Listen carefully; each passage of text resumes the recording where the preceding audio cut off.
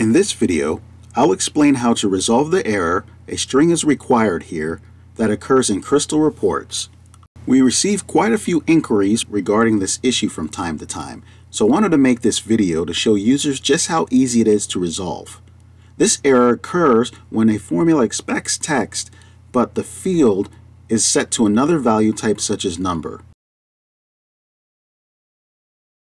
If I set the data to encode to a data source field named value, which is a number in my original database, it produces the string required error.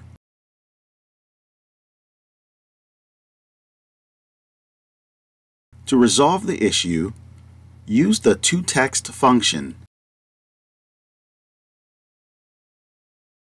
So we can place the field within parentheses and then save and close. Using the toText function resolves the issue.